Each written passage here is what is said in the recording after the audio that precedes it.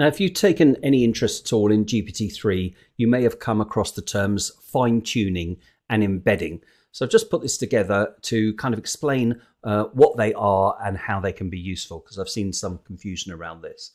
So the first thing I'm going to demonstrate to you is fine-tuning, and I've set this up in a Google Sheet. Now, as you may know, GPT-3 was trained on this corpus of data uh, that had a cutoff date sometime in 2021.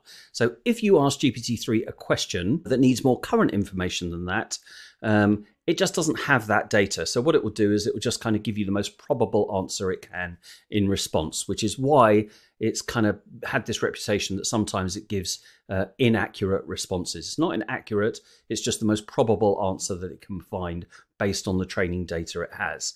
Now, if you use something like uh, Bing's new AI chatbot, uh, Sydney, what that's doing is if you ask it a question, it does a search on the web to find the most current information and then formulates a response from that.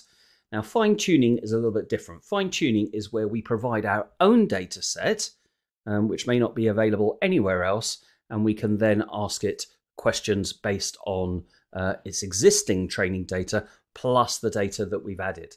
So as an example, I've created this Google Sheet here and I've put in here um, a list of speakers at an event that I'm going to in a couple of weeks' time in Helsinki. And it's just the names of the speakers, the title of their talk, and a brief biography on each of these speakers here. Okay, so I can go and put in um, a question. This is actually doing a completion. So I can say um, the person speaking about strategic SEO is, press return, wait a couple of seconds, and it will say it's Matthias Randeris. Okay, so it's taken that from here. Now, it hasn't pulled that information from the web. Um, it hasn't taken that information from its original training data because that information would not be available in its original training data. It's taken that from this cell here. Now, I can put a different question here, something like the author of the Tempest oops, is you can see it comes back with William Shakespeare. Now, obviously, that information is not in this cell. It's not in the fine-tuning data. So in this case, what it's done is it's kind of fallen back to its original training data where it's managed to get this information from. So the fine-tuning data here is augmenting the training data that GPT-3 was originally trained on. So that's kind of fine tuning. Now, if you imagine, you know, I've put some data in here, but you could upload um, medical records, uh, legal information, all kinds of really valuable data um, that may not be available on the web. Um, and then you can query that and ask questions on that very uh, specialist data that you provided. So that's fine tuning. Embeddings is something slightly different. Now here is another Google Sheet that I'm going to use to demonstrate embeddings. So I've got here a list of some basic animals. Uh, I can ask a question such as has tentacles, oops, tentacles. And what it will do is it's going to look at that list of animals and then it's going to come back with the most probable answer. So what it's doing here is it's looking at its original training data, looking at this list of animals that I provided, and it's coming back with the most probable answer to that question.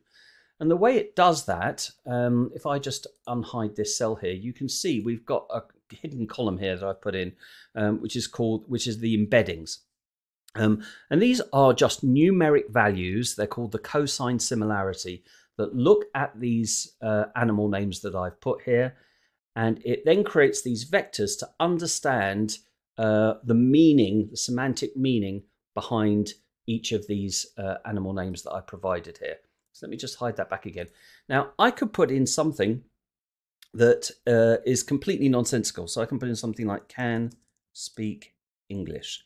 Now, obviously, none of these animals here can speak English, but when I do that, what it's going to do, it's going to come back with turtle. And the reason for that is probably because when it referred to its original training data, it's discovered, well, none of these animals actually speak English, but the most probable answer is turtle.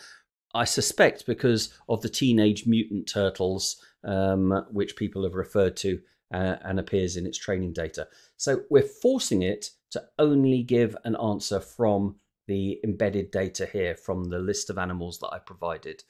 So that's kind of the key difference between uh, fine tuning and embedding. Embedding is just coming up with the most probable response um, from the list that you provide.